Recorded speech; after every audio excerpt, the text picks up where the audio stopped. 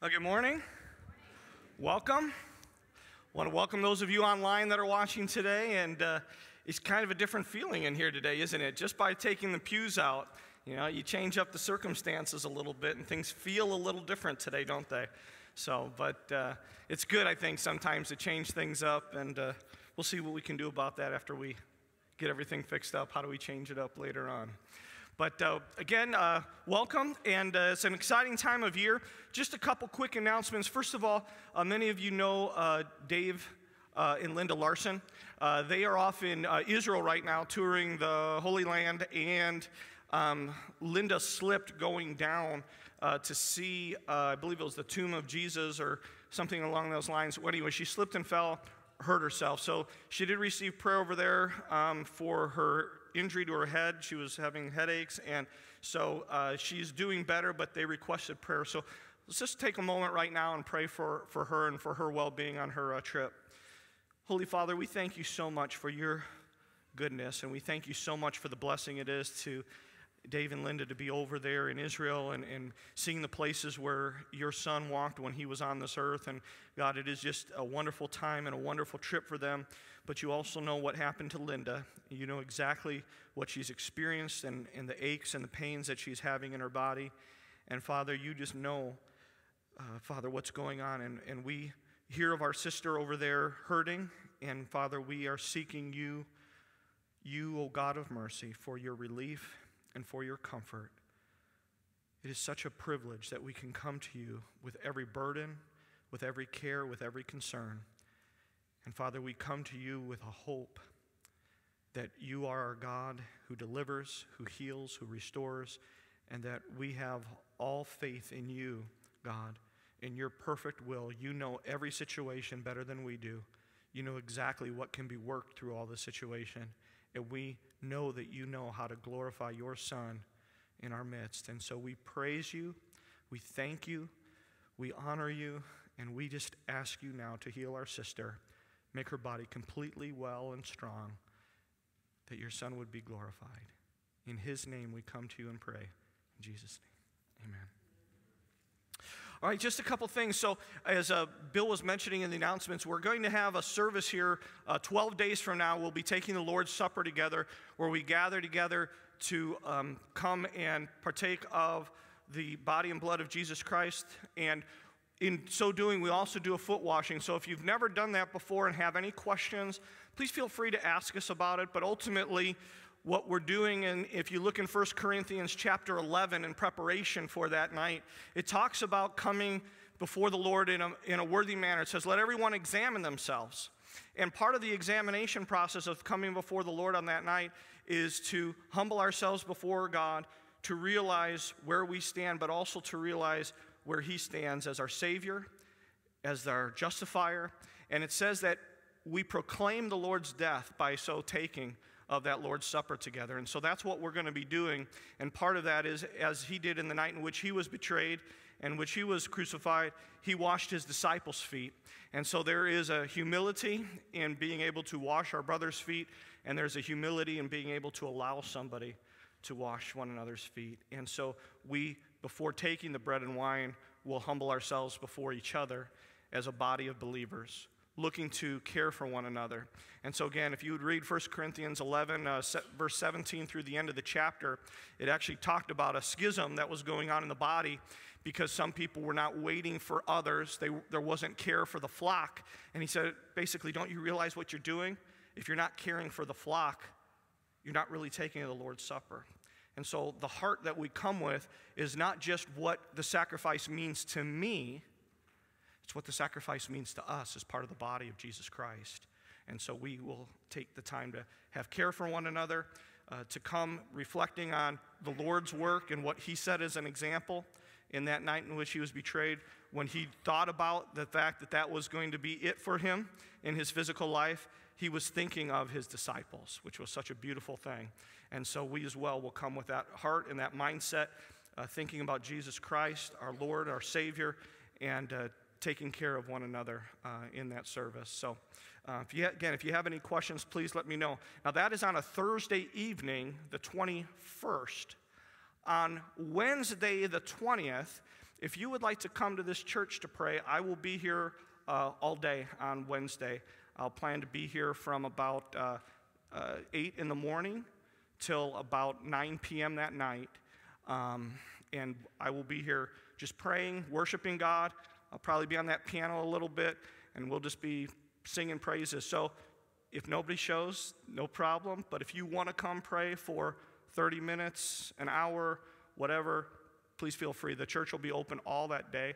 We can't do that because we have construction. I'm going to be in that side in the fellowship hall, but I'll bring my guitar and we won't have a piano. So I will, we will have something here then on that day on that side. So thank you, Stephanie. See, that's why I got married. I was just telling Scott yesterday, I need my wife because what would happen to me if I didn't? So uh, wonderful things. So again, if you have any questions about that, uh, please let us know. And then also, uh, Bill also mentioned in the announcements, there is a, a, seminar on the feast days. If you don't know anything about God's feasts that are in the Bible and want to learn what they are all about, what they mean, that'll take place at 145 in classroom five.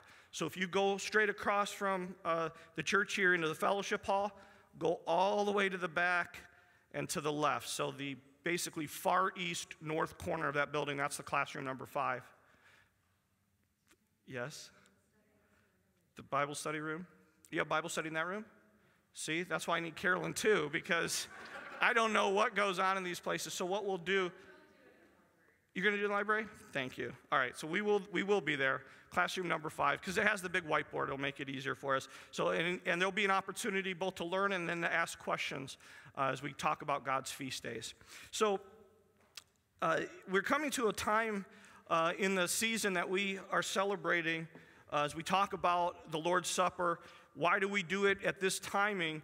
It's because of the things that God had written in the scriptures in regard to the timing of Jesus' death, which happened on the Passover. It was at the beginning of Passover, the beginning of the 14th day, that he gathered with his disciples, that night in which he was betrayed. And all through the day, he goes through the processes we can read about in scriptures of how he was betrayed, how he was taken, how he was tried, how he was falsely accused, he was beaten, he was mocked, he was scourged, and he came to his death on the cross on that very day and he was taken down, as it says, before the, uh, the Sabbath that was coming, which was the first day of unleavened bread, a holy day. So he died on the Passover, and then the feast of Passover, which is known as the Feast of Unleavened Bread, began. Now, some of this might sound shocking to you. I remember the first time somebody started talking to me about a feast of unleavened bread, it just sounded like, What in the world are you talking about? I never heard of that. And as a teenager, when I heard about this feast of unleavened bread, no one had ever taught me that in a church before, nobody had ever gone through it.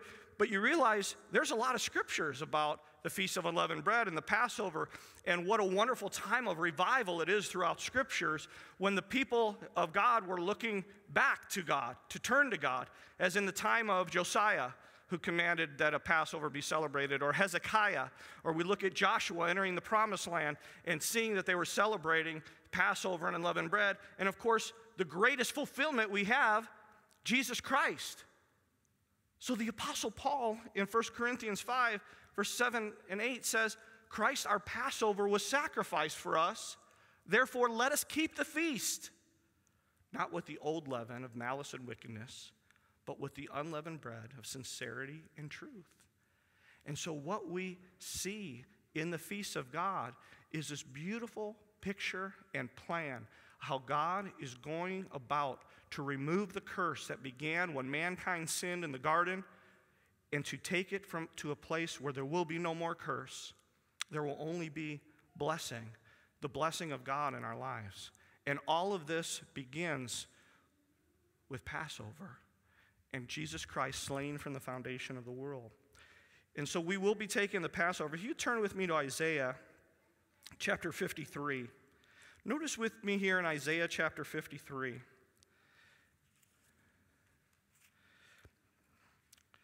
There's a prophecy here in regard to the death of the Savior, the Messiah, who is promised to come. And what I want us to focus on here today is I want us to consider Jesus, the sacrifice, the Lamb of God slain from the foundation of the world and what he did for us. And Father, as we begin to look into your word, I just pray that you would open our eyes to see, our hearts and minds to understand the things that you have accomplished through your Son Jesus, and that we may see his perfect sacrifice and the perfection of everything that you have done through him, that we may receive and that we may believe in him who is the way, the truth, and the life. It is he who ushered us into a relationship with you, Holy Father. And Lord Jesus, we thank you so much for that. We pray in your name. Amen. Isaiah 53 says, Who has believed our report? And to whom has the arm of the Lord been revealed? For he shall grow before him as a tender plant, as a root out of the dry ground. He has no form or comeliness that when we see him, there is no beauty that we should desire him. Now, this is a prophecy of our, of our Lord Jesus. Notice this He is despised and rejected by men, a man of sorrows and acquainted with grief. And we hid, as it were, our faces from him. He was despised, and we did not esteem him. Surely he has borne our griefs and carried our sorrows, yet we esteem him stricken, smitten by God, and afflicted. But he was wounded for our transgressions, he was bruised for our iniquities. The chastisement for our peace was upon him, and by his stripes we are healed. All we like sheep have gone astray. We have turned every one to his own way, and the Lord has laid on him the iniquity of us all. You see, sometimes when we look at things that happen in life and we look at what was going on in the life of Jesus, it would be easy to consider him smitten by God, stricken, afflicted, maybe even the flesh not winning, so to speak. But what he was doing in the sense of everything that God had purposed was to have laid on himself all the sins and the Father to lay upon him all of our sins, that he would be stricken, that he would, who knew no sin, would become sin for us, that we might become the righteousness of God. Now, if any of you need a Bible, I wanted to mention, I forgot, there are Bibles up here if you need it. And just raise your hand if you need a Bible, we'll get you one. We usually keep them in the seats in front. But let's continue on here in Isaiah 53, verse 7. He was oppressed and he was afflicted Yet he opened not his mouth. It's a hard thing for us to do humanly, isn't it? He was led as a lamb to the slaughter, and as a sheep before its shears is silent, so he opened not his mouth. Do you remember when they were questioning him? Who are you? Tell us who you are. And it said he just kept silent. And they would hit him, and they would spit on him, and they would mock him but he was silent. He was taken from prison and from judgment, and who will declare his generation? For he was cut off from the land of the living. For the transgressions of my people he was stricken, and they made his grave with the wicked, but with the rich at his death, because he had done no violence, nor was any deceit in his mouth. Yet it pleased the Lord to bruise him. it pleased the Lord to bruise him and has put him to grief. When you make his soul an offering for sin, he shall see his seed, he shall prolong his days, and the pleasure of the Lord shall prosper in his hand. He shall see the labor of his soul and be satisfied. By his knowledge, my righteous servant shall justify many, for he shall bear their iniquities. Therefore, I will divide him a portion with the great, and he shall divide the soul, uh, spoil with the strong, because he poured out his soul unto death, and he was numbered with the transgressors, and he bore the sin of many, and he made intercession for the transgressors. So here is what we can know in, in, in part of what Jesus is going through in the sacrifice, and the sacrifice that we talk about, and what he gave when his life was taken, that life that he laid down. But what was going on was the Lord was putting on him, applying upon the Son of Righteousness every sin that we had. Now, this sacrifice is an amazing thing. We talked last week uh, or two weeks ago, I can't remember now, in, re- in regard to the blood of Jesus and the application when they put the blood on the doorpost, how that faith made all the difference. It didn't matter what was really going on in your house. When you believed and applied the blood of the lamb to the doorpost, you were protected. But what I want us to do is think about the lamb today in terms of what was the lamb thinking as all this is going on. You know, we can think about what it was when they would take the little lamb on the 10th day and bring it into the house and make it a pet and take care of it. And when they took its life, maybe there was fear there, maybe there was trepidation. I don't know what it looked like. I haven't personally done it. But we can know what was on Jesus' mind, at least in part, when we consider the things that he was saying as he was going on that cross and being crucified that day. And I'd like to spend the rest of our time thinking about that today and the message that he gives. Let's turn over to Luke chapter 23.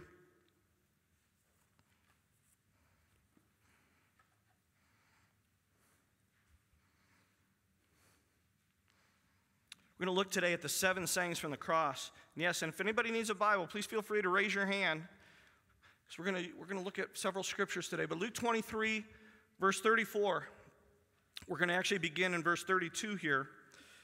Luke 23, verse 32. There were also two other criminals led with him to be put to death. So we just read in Isaiah 53 that in his death it was with sinners, right? But, but the rich in, in where he was buried, but he was put to death with sinners. And so, as it was prophesied, there were also two other criminals led with him to be put to death. And when they had come to the place called Calvary, there they crucified him and the criminals, one on the right hand and the other on the left. And Jesus said, Father, forgive them, for they do not know what they do. Now, when we look at these sayings of Jesus and we think about the crucifixion, I want you to think about the realities of that. This is our Lord who, when he was betrayed, he prophesied that all his disciples would flee him, and it says they all fled. Even Peter, who said, I would not forsake you, even Peter, who was brave enough to be close when Jesus was being questioned and taken and judged, even Peter denied him three times, even having known the man, he said. This was one who was betrayed, and when they brought witnesses, the witnesses, they could not find any. But then they finally did, and people spoke falsely against him. They put coverings over his head and they'd punch him and say, If you're a prophet, prophesy. Who punched you? Jesus could have answered right then, but he kept silent. He said he could have called 12 legions of angels. He knew the power that he had. And yet he surrendered to the will of his Father. Even when he prayed in the garden before he was taken, he said, Father, with you all things are possible. And if it is possible, remove this cup, yet not my will, but yours be done. He learned obedience through the things he was going to suffer. And he was taken, and when they found nothing wrong, to appease the crowds, they had him scourged. 40 times he was hit with barbs and lashes. After being beaten with clubs, spit upon, mocked, it's even prophesied they pulled his beard out. That here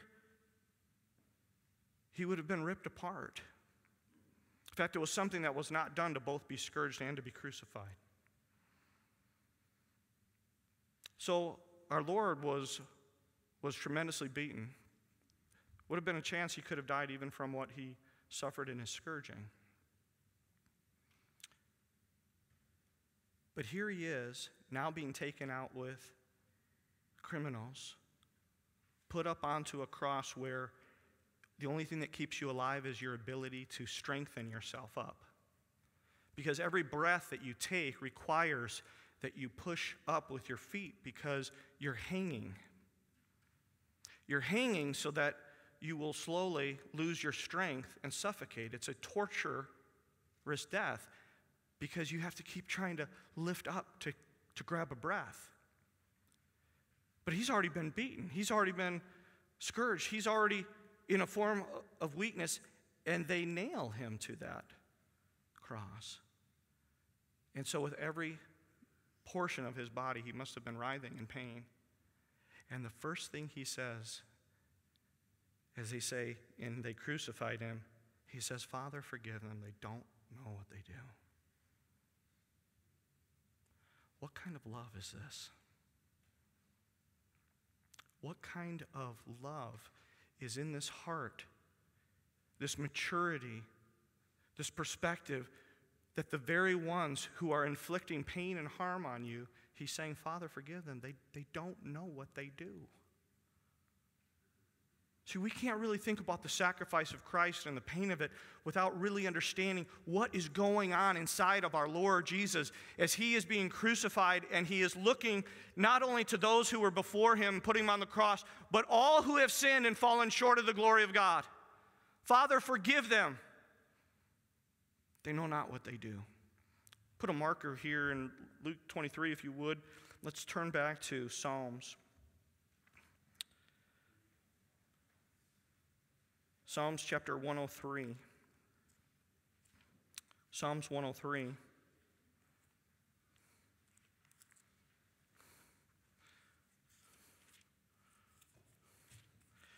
Notice here in Psalm 103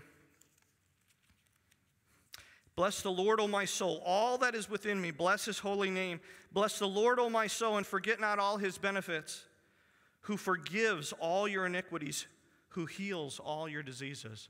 It's the very character of God who forgives, who heals.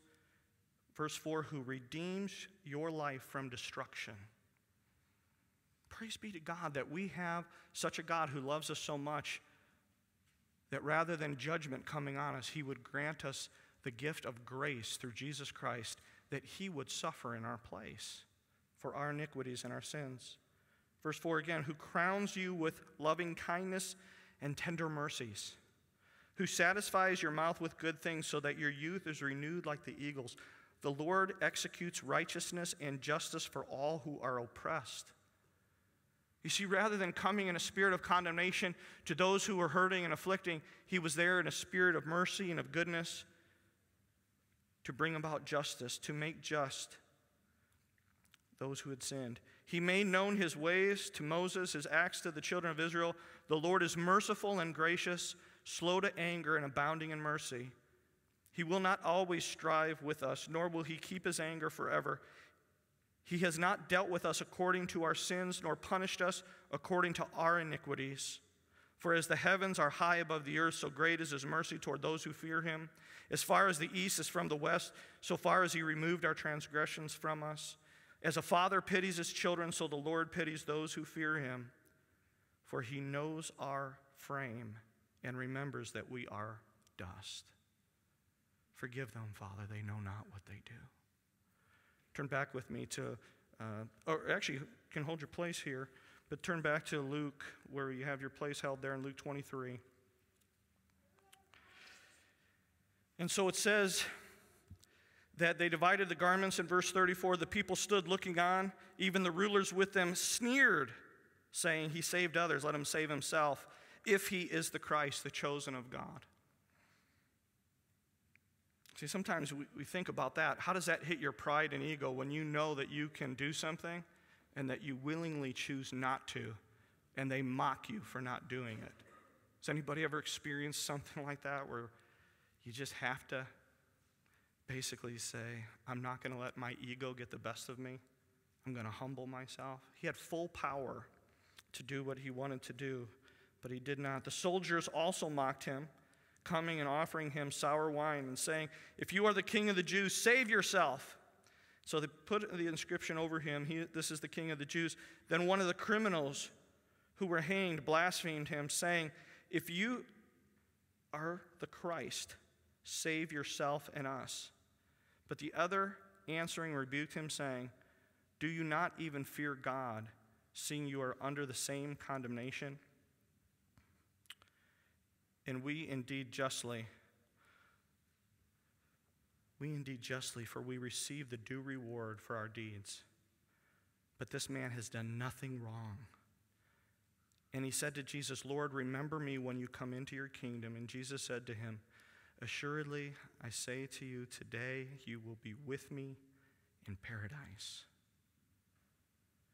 So here is Jesus suffering, being mocked, being sneered at. And what is he doing? He's giving a promise of hope. You see, when we look at Psalm 103, when it talks about He will not strive with us, He will not punish us, when it talks about the blessings of life, for as, in verse 11, for as the heavens are high above the earth, so great is his mercy toward those who fear him. As far as east is from the west, so far as he removed our transgressions from us. For as a father pities his children, so the Lord pities those who fear him. He knows our frame, he remembers that we are but dust. He's telling us, remember who this God is, who not only loves us to save us, but he loves us to give us hope. We were made in the image of God. And everything he's doing is to make us in the image of God till we all come to the measure of the stature of the fullness of Christ. The purpose and work for him being on the cross and enduring the suffering is so that we would have life and hope. And so he's not thinking of himself in this moment. What is he saying?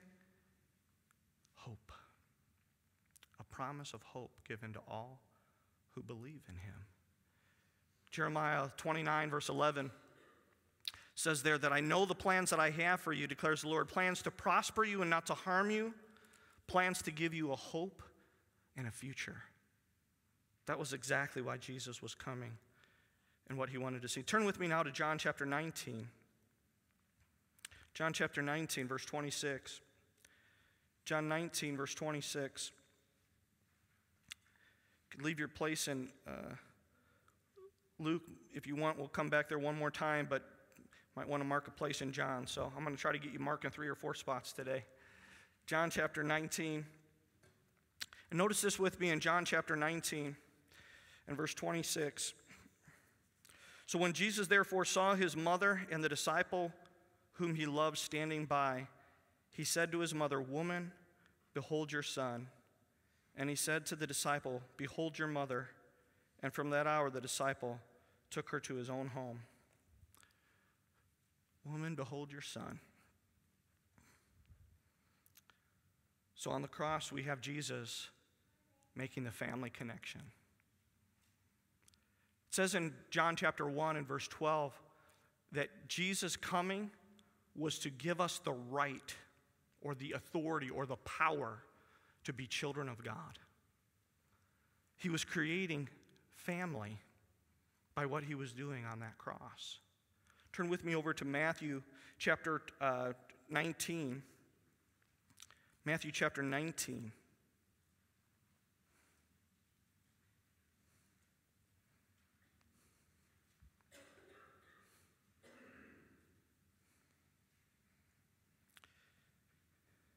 Matthew chapter 19 and verse 29, it says, Everyone who has left houses, or brothers, or sisters, or father, or mother, or wife, or children, or lands, for my name's sake, shall receive a hundredfold and inherit eternal life. Jesus prophesied that there would be those that would hate. He said even that father would turn against son, right? And brother against brother, that even there might be divisions, but he also promised that when we come to him, that he's going to bring about family and restoration into our lives.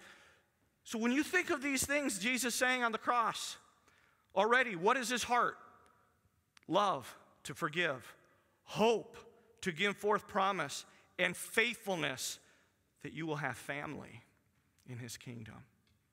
These are the things that, that are just at the core and the essence of everything that is about Jesus Christ. And as we reflect and proclaim his death, he died with cause, He died with reason.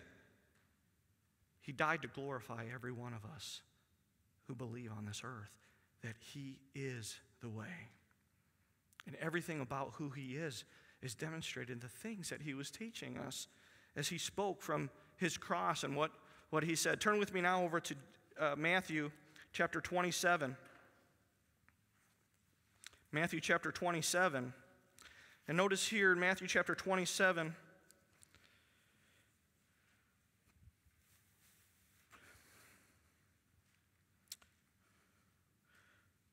Notice what it says here in verse 40. Excuse me, let's start in verse 39.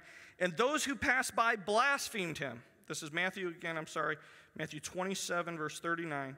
Those who passed by blasphemed him, wagging their heads, saying, You who destroy the temple and build it in three days, save yourself.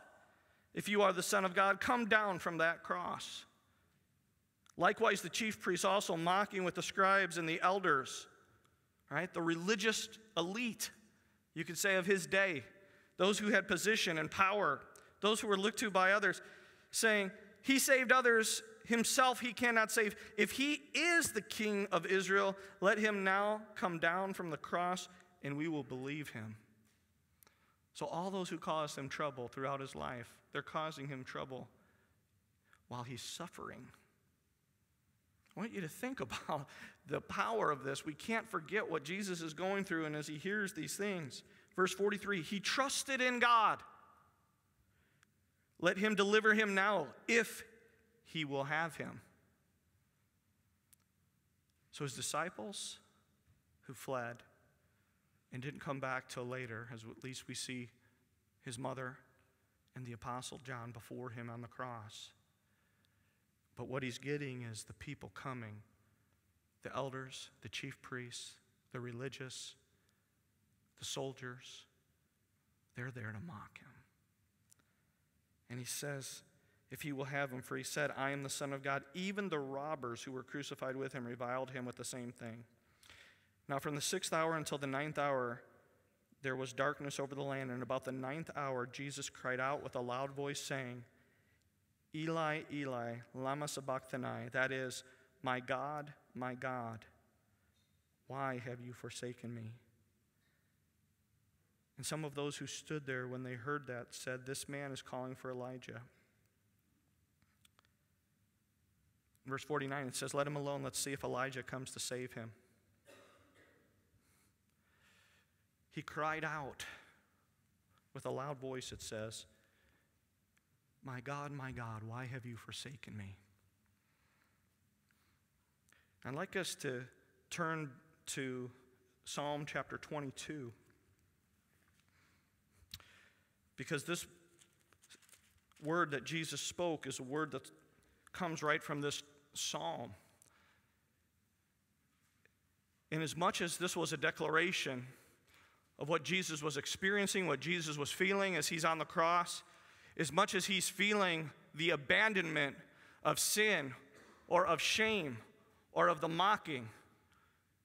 It said that he endured the cross, despising the shame, it says in Hebrews 12, verse 1. He despised the shame. But he who is despising the shame, when he cries out to God, My God, my God, why have you forsaken me? Psalm 22, 1. Why are you so far from helping me? and from the words of my groaning. See, this prophecy was to tell us what the Creator, the one through whom God made the heavens and earth, all things seen and unseen, who would empty himself of glory to take on the form of a man, to humble himself as a man, even to death, the death of the cross, crying out. We know exactly what he's crying here. My God, my God, why have you forsaken me? Do we begin to th- even closely, remotely understand what this is. That he who was in glory before the world began is being beaten, scourged, abused, and mocked by his own creation, suffering in darkness, and feeling the abandonment that makes our Lord the perfect mediator and the perfect high priest for every one of us. He knows exactly the depth of pain to feel the separation and expressing this as it's prophesied in Psalm 22. Verse 2, notice, Oh my God, I cry in the daytime, but you do not hear me, and in the night season, and am not silent. But you are holy, enthroned in the praises of Israel. Our fathers trusted in you, they trusted, and you delivered them. They cried to you and were delivered. They trusted in you, and they were not ashamed. But I'm a worm, and no man, a reproach of men, and despised by the people. All those who see me ridicule me. Isn't that exactly what we read? And they shoot out the lips and they shake their heads, saying, He trusted in the Lord. Let him rescue him. Exactly what was prophesied to happen is recorded as a witness to us in the Gospels that this very thing they would do to him. Let him deliver him since he delights in him, mocking him. Notice, but you are he who took me out of the womb. You made me trust while on my mother's breasts. All from the very beginning. I was cast upon you from birth, and my mother's, from my mother's womb you have been my God. Be not far from me, for trouble is near, for there is none to help.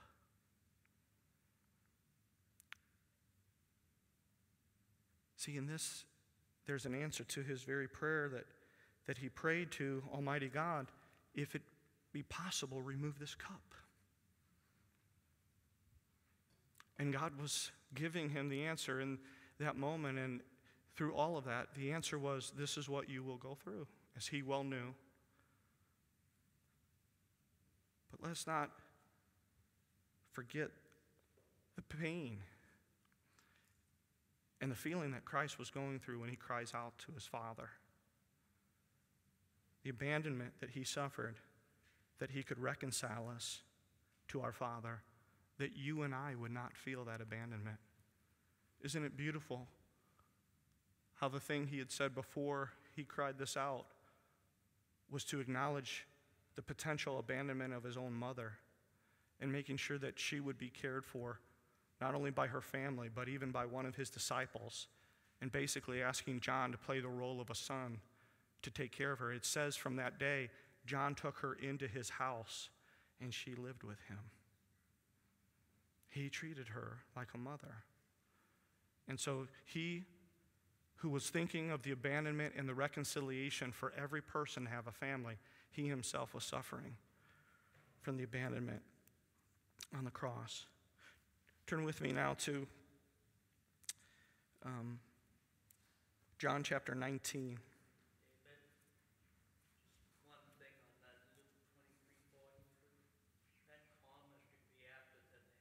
Okay.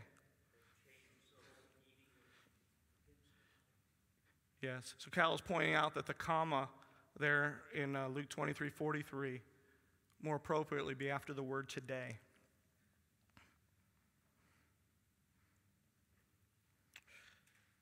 Thank you, Cal. So we're at John 19. John chapter 19.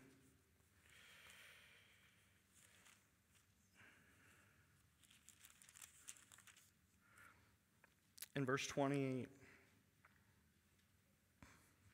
The next thing that was said on the cross, John 19, verse 28.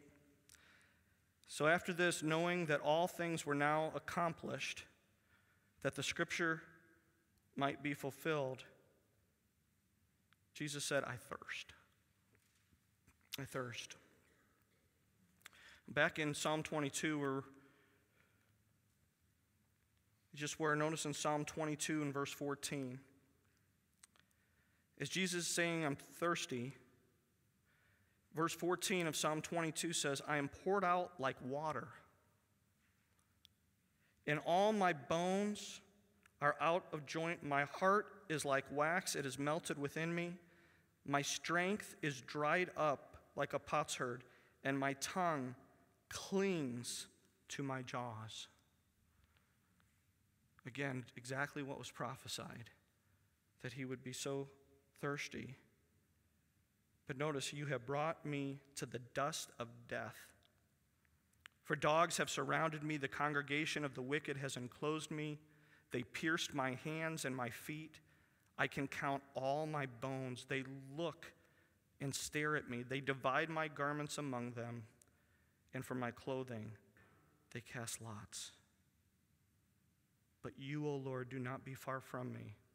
O my strength, hasten to help me. So, the whole heart of Jesus Christ, when you think about him being poured out, every bit of his energy, every bit of his life, that as he talked about his tongue clinging to the dust. And isn't it amazing that earlier in John, when he was in this ministry and on the last day of the feast, in John 7, in John 7, verse 37, on the last day of that great day of the feast, Jesus stood and cried out, saying, If anyone thirsts, let him come to me and drink. He who believes in me, as the scripture has said, out of his heart will flow rivers of living water. And so, at the very place of his cross and his death, where he is crying out for thirst, he's bringing it forth so we can all have a drink. That you and I would not need to thirst, that you and I would not have to experience this abandonment, that we would know that our God is with us, who saves us and spares us, and he bore all our iniquity and all our punishment and pain in his own body. Turn with me now over to John 19 again. John 19 and verse 30. John 19, verse 30. And so when Jesus had received the sour wine that they gave him, when he had said, I thirst, in verse 28, it's recorded in verse 30, he cried out and said, It is finished. And bowing his head, he gave up his spirit. It is finished. You know, it's so incredible to think about the moment when he said that because there was a time when he was 12 years old that he was at the feast with his parents and they had left and they thought maybe he was with their, the uncle or someone else and, and he wasn't. And they went looking for him in the temple. And he said, Did you not know I'd be about my father's business? That he was born for a purpose and a plan. Turn with me back to John chapter 4. Because Jesus knew the purposes that he needed to accomplish when he came to earth. He knew the things that he needed to do. Notice in John 4, verse 34, Jesus said to them, when they were wanting to give him food, he said, My food is to do the will of him who sent me and to finish his work. My will is to do the will of him who sent me. My food, what I eat. See, in all the life that Jesus is, is doing, he's basically saying, He was my drink, He was my food. And what he suffered as he's coming to the end of his life is so that you and I can be well fed, and that you and I can have great drink, and that you and I can have hope and promise of family and love and of eternal life.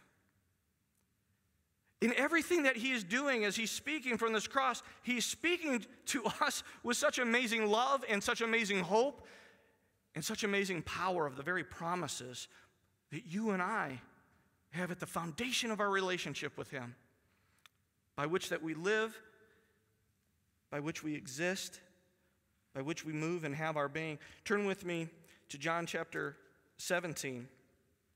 John chapter 17.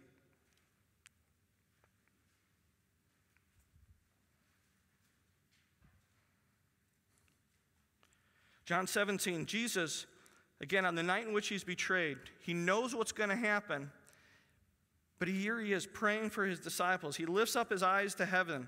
In John 17, 1, Father, the hour has come. Glorify your Son, that your Son may glorify you, as you have given him authority over all flesh, that he should give eternal life to as many as you have given him. And this is eternal life, that they may know you the only true God in Jesus Christ, whom you have sent. I have glorified you on the earth. I have finished the work which you have given me to do. He knew that what the Father wanted him to do on the earth was completed. And he would now have that time. Every time before that they had tried to take him, to kill him, to take his life, God said, It's not your time. Jesus knew it wasn't his time. Not till the Father appointed would his life be laid down as a sacrifice. But he laid down his life, and here he is as he comes to this. He knows that the work that he has is to be finished, it is to be accomplished. He is going to put an end to sin in the sacrifice of himself. The last thing he came to do on this earth before he would be resurrected from the dead was to lay down his life. Let's turn over to Luke uh, again, 23. Back to Luke 23 now.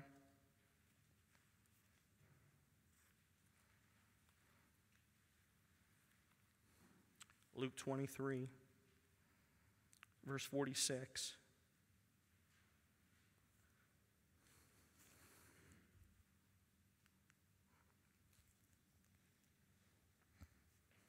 When Jesus had cried out with a loud voice, he said, Father, into your hands I commit my spirit. And having said this, he breathed his last.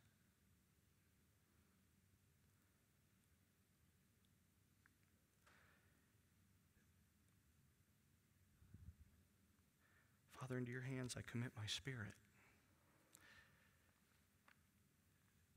You know, when we understand the scriptures, when we talk about Genesis and mankind being created from the dust of the ground, and he breathed into man the breath of life, and man became a living soul. And we think about him coming himself in the flesh into a jar of clay. The one, as it says in John 1, who, made, who God made all things through, everything seen and unseen. There was nothing made that wasn't made by him. And we think about him breathing out his last breath, and with everything of his being, laying down his life and in his death saying, I commit my spirit to you. The beautiful words of trust Father, into your hands I commit my spirit. When we think about these words and this life that God has given us, and we think about the sacrifice of Jesus Christ and the wholeheartedness of who he was, and we look at this message, this message from the cross that he gives, the message of love the message of hope and promise, the message of family, that he who knew no sin would be sin for us, that he who didn't know and feel abandonment would be abandoned for us, that he who did not know thirst was always satisfied, was poured out till he thirsted, that he who had always given food and help, that he was always doing this, that he was now being slain. The very hands that healed the people were now nailed to a cross. The very feet that carried the gospel from city to city throughout the region were nailed to the cross by the very people he came to serve and save. He was nailed to a cross. Friends, that is the power of sin when it is laid upon the Son, that the very one that he laid down his life, that that life would be given. And he was demonstrating that he alone could have the power to remove all sin from you and me. It stops at the cross. And in your life today, wherever you are in your life, no matter what you're going through, no matter what you're experiencing, no matter what your past looks like, sin has to stop at the cross. This is the only place we go to, to the one that says, let it stop right here. Let me bear it for you. Let me wash it and cleanse you from all iniquity and transgression, from shame and guilt. And it is the thing that we proclaim till he comes, as it says in 1 Corinthians 11. We proclaim the Lord's death, that he's alive. He is our life in everything. Friends, when we celebrate the Passover, when we think about the sacrifice of Christ, when we come together as a congregation and we eat of the bread and the wine to remember that this is what Jesus did and this is what his heart was for us. What part of this isn't perfect? What part of it isn't complete? What part of it isn't enough?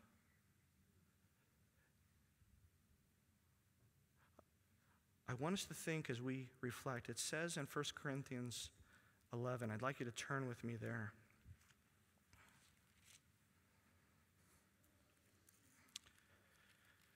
As we think here in 1 Corinthians chapter 11,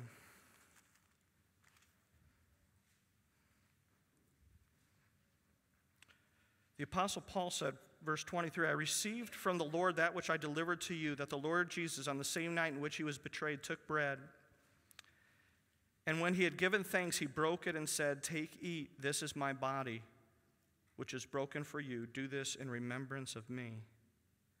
For in the same manner, he also took the cup after supper, saying, This cup is the new covenant in my blood. Do this as often as you drink it in remembrance of me. I want you to notice that, as we've talked about here before, that before doing this, he gave thanks that he could make this sacrifice for us. He gave thanks that his body could be broken for you and me. He gave thanks that his blood would be shed for our salvation, that through him would flow a river of life by which we could all be redeemed and saved from the curse of this world to the holiness and the blessing of God Almighty. And as he says this, he says, For as often as you eat this bread and drink this cup, you proclaim the Lord's death till he comes. Verse 27 Therefore, whoever eats this bread or drinks this cup of the Lord in an unworthy manner will be guilty of the body and the blood of the Lord. But let a man examine himself, and so let him eat of the bread and drink of the cup. For he who eats or drinks in an unworthy manner eats and drinks judgment to himself, not discerning the Lord's body. For this reason, many are weak and sick among you, and many sleep. For if we would judge ourselves, we would not be judged. But when we are judged, we are chastened by the Lord, that we may not be condemned with the world. Therefore, my brethren, when you come together to eat, wait for one another. But if anyone is hungry, let him eat at home, lest you come together for judgment. And the rest I will set in order when I come. So again, in verse 28, he says, But let a man examine himself, and so let him eat of the bread and drink of the cup. I received a letter recently uh, from a person who had been looking at this verse and contemplating her life in the light of examining herself before the Lord. And she said that this time of year was a very depressing time for her. Because when she would examine herself, what she saw was the fault, the sin, the law of sin that dwells in our members, that is present with us where we go. This bag of lust, the lust of the flesh, the lust of the eyes, and the pride of life that wants to pull us down. And you know, when we look at sin and we see the glory of Jesus Christ, and when we see sin and how it is built not on love or on faith or on hope, but on selfishness, yes, we do feel down. But it says that if we confess our sins, God is faithful and just to forgive us of our sins and to cleanse us from all unrighteousness. I've had people say that when they examine themselves, they do not find themselves worthy to eat of the bread and the wine. And I said, Why would you feel that you're not worthy? And the answer is because I'm such a sinner. Because the things that I do in my life, they're not really that reflective of this sacrifice and of the ways of God. And to me, when you and I, through a matter of reflection upon who we are without God, in being honest, for he says, He who says he has no sin, what does it call him? A liar. But he who confesses his sin, God's faithful and just to forgive it. That the one who walks away from God, cleansed and justified, is not the one who thinks they're living a life apart from sin, but the one who can be honest and say, I need you all the time. Forgive me and make me whole. And what makes us in a state of worthiness is actually when we do realize the absolute need we have for Jesus that is not of our own works or of our own righteousness, but what puts us in the right heart is when we come to that moment and maybe we do realize the depth of pain. Maybe we do experience the sorrow. Maybe we're like Josiah, who we talked about last week, who, when he read the word of God, ripped his clothing and wept before the Lord because he realized how far he was away. And in that moment, when we come to God with all of that, do you realize that was why Jesus died for you? For that moment, for that time. And every time we come for the Lord Jesus to say, This is it. You're not far from me. You're so close. You're right here. Will you confess Jesus right now? When we come and we say, Father, forgive me, I've sinned. Father, forgive me what's in my heart. Father, forgive me for all the ways I go astray. That is where He is faithful and just to forgive us of our sins and to cleanse us from unrighteousness. This is at the cross of Christ, and this is the fundamental foundation thing of life. We can never get away from this glorious gospel, for it is why we have life. That from Jesus Christ came a flow of life for you and me. Friends, if you are finding your sin, praise the Lord. If you are suffering and seeing hurt, praise the Lord. Because for this very thing, Jesus came and suffered for you and me. That he could wash away the sin, that he could cleanse us from the unrighteousness, that he could set us free on a new path, that we no longer walk around as slaves to that sin, but having been set free in his righteousness, we submit our members as instruments of righteousness to him. He's the one who makes us unleavened. He's the one that makes us sincere and true and clean. And friends, the good news has that as a foundation, and we never leave it. It's His sacrifice that's the foundation of every relationship we have. It's built on His sacrifice, and it is built on His forgiveness. So when you examine yourself, and so eat. Let us examine ourselves and let us celebrate that the most perfect, holy, just, and righteous one was willing to be made sin that you and I might become the righteousness of God. Would you withhold from Jesus the very prize for which he died? Would you want to steal away any of the joy of what he saw before him when he endured the cross and despised the shame? You have to accept his righteousness. That was the trade. That was the offering. That was the gift. Jesus says, Give me all your sin, all your shame, all your guilt, all your hurt all your burden, all that weighs you down, and I will carry that. I will take it and I will remove it from you as far as east is from the west. And at the same time, he says, But as I take all your sin, you take all my righteousness. You receive complete acceptance you receive the very acceptance that I have. You receive the very standing before God that I have as a child of God, who God said, This is my beloved Son in whom I'm well pleased. And we become holy and accepted in the beloved, in Christ, because we accept not only the removal of sin, we accept that He imputes perfect righteousness to us. Perfect. Friends, is there anything we can do to improve on the righteousness that Jesus gives us? We receive by faith. Blessed is the man to whom the Lord imputes no sin. Blessed is the man who receives his righteousness from the Lord God Almighty. Blessed is the man who by faith accepts the sacrifice for the washing of sin and for the giving and the receiving of righteousness. Friends, I, I, I beg of you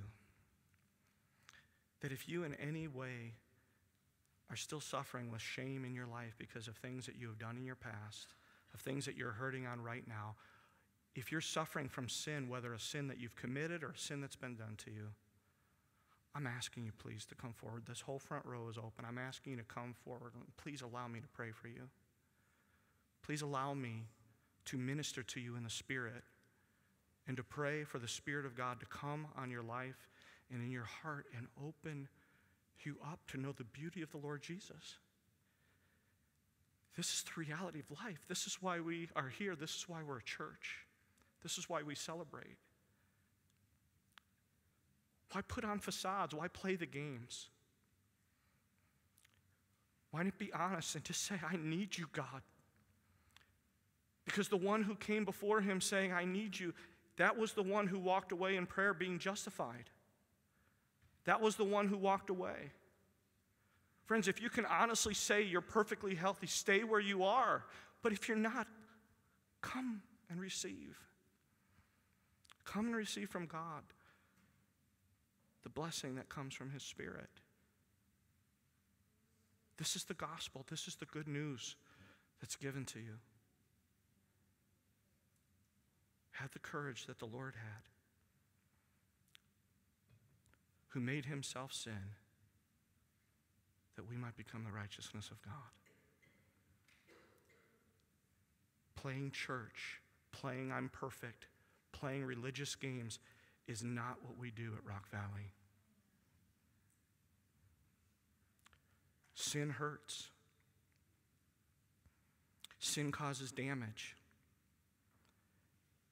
And the Lord said, Confess your sins to one another and pray for one another that you may be healed. And that's what we do here.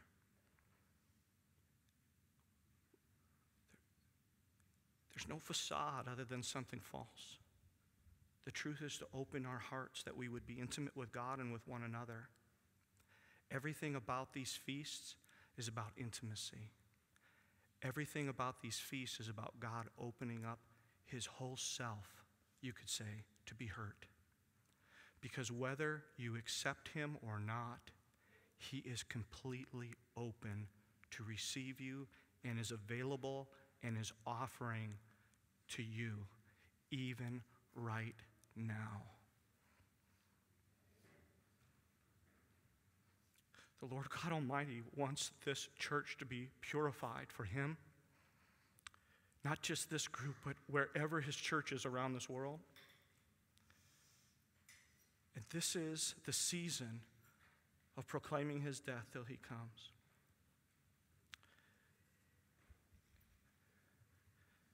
And so I'm asking you to come forward. I'm asking you to seek it out. And I'm asking you who are in a state of righteousness and have this confidence that you pray for every person that you can see in this room that is asking for help. And those that you need, and excuse me, those that you know that need Him. That would be done. So I'm going to start praying. I would ask the worship team to come up, and we're going to worship God, and we're going to close out this service. As they do that, let us just pray. Come on up. Holy Father, God in heaven, we thank you so much for the perfect sacrifice of your Son. I thank you so much for the blessing of life. I thank you so much for the promises of hope and renewal and restoration. And God, I pray that in this room, God, we would just leave it all before you now that every sin, that everything that is hurting us, and that all the ways in which our hearts feel wounded or burdened, where we find there is anger and resentment, that you would cause us to see, God, every sin in our lives. That there would be no more judgment, but rather it would be replaced by a love for one another. That we would not speak evil of one another. That you would remove the hearts and the spirits of division and that you would bring about a reconciliation that comes by not looking for how we will be served, but rather, God, to be like you and in all things serve one another in a spirit of love and of holiness and of goodness. God, I pray that you would bless us the humility to be able to confess our sins, and I pray that you would bless us with the humility to receive from you the righteousness that you promise. We believe, God. And please help our unbelief that in every way we may completely receive and accept and live by this promise, this gospel of grace that you have so generously given to us. May your name be praised. May your life fill us. In Jesus' name, let's praise him.